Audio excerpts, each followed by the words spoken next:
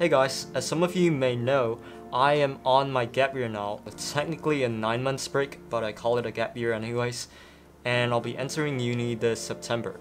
Since I'm gonna study molecular biology in uni, my cousin very kindly gave me this book called The Fundamentals of Organic Chemistry, which is very important for my course.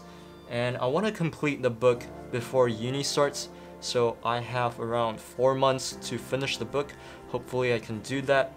So for today's video, I will be showing you how I take my textbook notes in Notion, and I'll break this video into two parts. Firstly, I'll show you how I set up the page in Notion, and then I'll show you how I take textbook notes in Notion. Of course, the method to take notes can be a bit different if you're doing a different subject, but here I just want to show you my way of doing it in Notion, and hopefully you will find this helpful. This is also my first video on Notion just to show you one aspect on how you can use Notion to organize your life.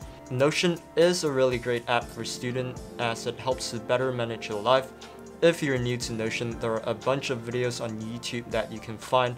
I'll be making more videos on Notion myself. That will be coming later this year, so make sure you stay tuned for those. And lastly, before we start the video, I just created a Twitter account very recently and I've been posting some Notion content on there. If you're interested in those, make sure to follow me on Twitter and yep, let's get right into Notion. So I've created a new page in Notion and let's name this the fundamentals of organic chemistry. And I'll give it an icon and a cover. Okay. So my plan for this is I just wanted to have a very simple layout. So probably like a gallery view for all the chapters.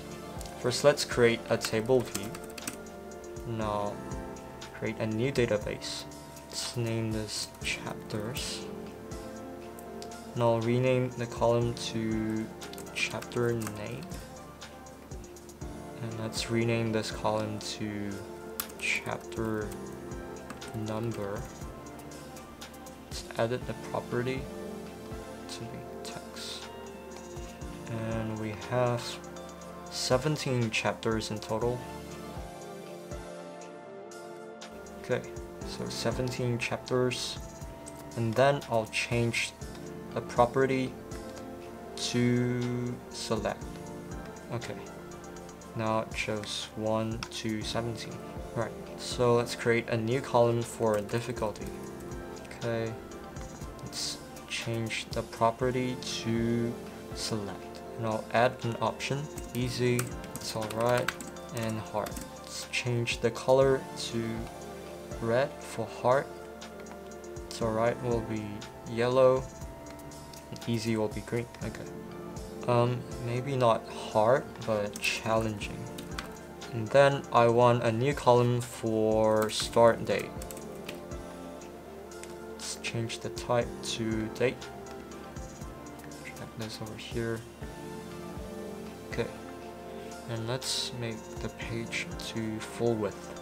I'll just add the chapter name to the column and I'll just speed this up to when I'm done with it.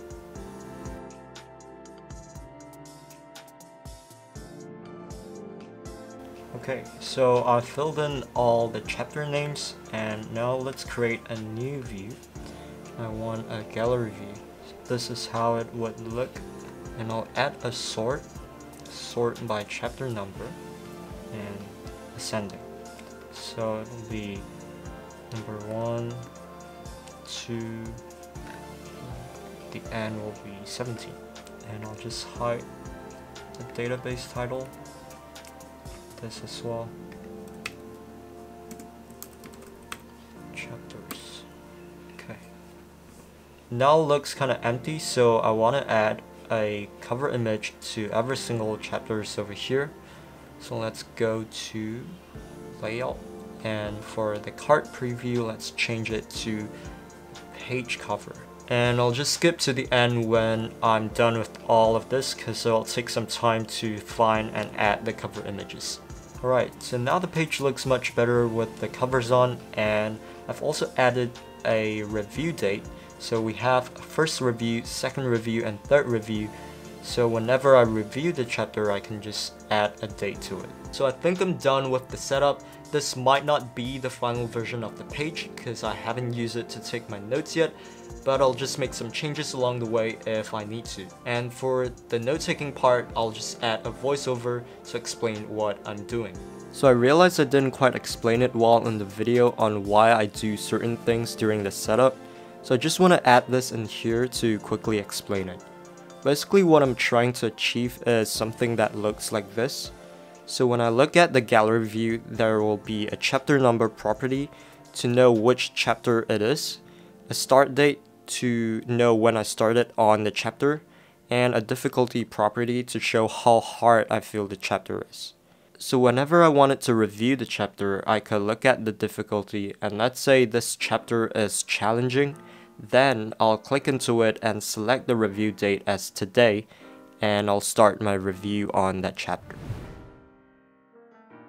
So I have my screen set up in a split screen view. Um, Notion is on one side of the screen and the textbook is on the other side.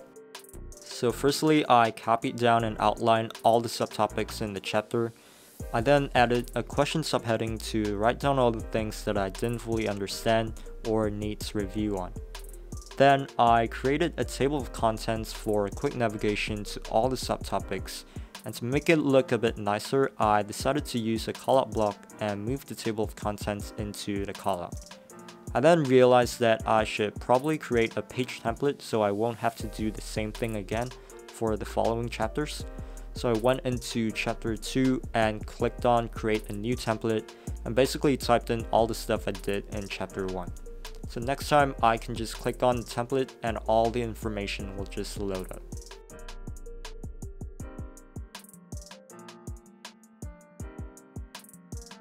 Now that all the setup is actually done, I started reading through the textbook. So the method that I'm using here is that I quickly read through the whole chapter to get an overview on what the chapter is about before reading it in depth and here you can see me scrolling back and forth to kind of know what to expect from the chapter and try to relate all the subtopics together to the whole chapter. Then I took my iPad out and imported the textbook PDF file into Notability to highlight and make annotations on the textbook. And here I'm reading through the textbook in detail and I'm making some highlights and annotations along the way. I like to annotate and draw diagrams on the iPad whenever I take my notes because it helps me to better understand the material. For today's video, I don't want to focus too much on the iPad part because this is a Notion video, so I'll just leave the iPad part for maybe another video. After all the readings and annotations, I finally started taking down the notes in Notion. So what I do is I look at the highlights and annotations that I make on my iPad and I write down the points that I feel is important. I also try to write down the notes in my own words as much as possible so I don't fall into passively summarizing the textbook, which is what I usually do in the past where I just copied down all the stuff from the textbook and never read the notes again. So, to be more actively engaged when I'm taking the notes, I always try to ask myself questions and try to link the points and figure out how each concept relates to the bigger picture.